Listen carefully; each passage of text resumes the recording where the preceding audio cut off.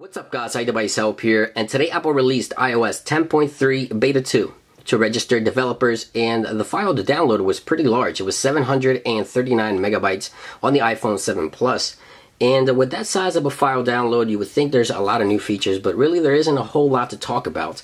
Uh, as always in these videos, I'm going to share with you guys any new changes. The current build number is 14E5239E. So it's a pretty large build number there for the latest beta. Now, in terms of features for the software, I didn't find anything new as of yet. Uh, but the previous beta, iOS 10.1 beta 1, I did come across one thing that was different. After using the software for about a week or so, uh, my iCloud was almost full and I got this new option below the iCloud settings which now are at the top of the settings application. It gives you the option to upgrade your storage and if you tap into that and you decide to upgrade the storage it gives you the option to upgrade within there. So just a new panel that pops up inside of settings if your storage is almost full right below uh, this banner here for your iCloud information. Now in terms of features, as I said, you're not going to find anything new. No dark mode, no new wallpaper, no theater mode. If you're anything like me and keep track of Apple's iOS releases and rumors, where is that theater mode that everybody thought was going to be dark mode, including myself?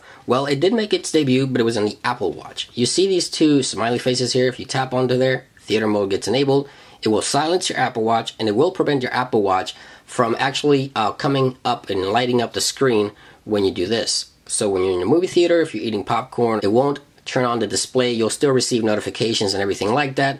But it's a pretty cool feature to silence the Apple Watch and then simply turn it off whenever you want. But nothing like that has made it over to the iPhone or iOS for that matter. And no new features, as I mentioned, are in this new beta. I did want to share with you guys some Geekbench score tests. The performance has dropped, not a lot, but somewhat. The first beta here coming in single core score 3473 and then 3458, nothing drastic. On the multi-core score, we have 5771 with a 5708. So the performance dropped a little, nothing major. Apple's new file system that's been added to iOS 10.3 has been a little weird on my device. Sometimes I get a black, dark screen.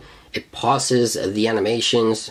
Something about the animations are different. I don't know why that is. When I launch certain applications, for example, this one here for the Facebook, See that black screen that stays there for a long time and then it pops into action?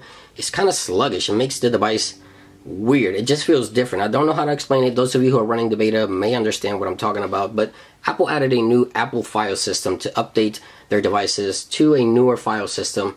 But anyway, those are my experiences. In terms of battery performance, I'll keep you guys updated on Twitter. This was just a very quick video on what's happening on Apple's beta software.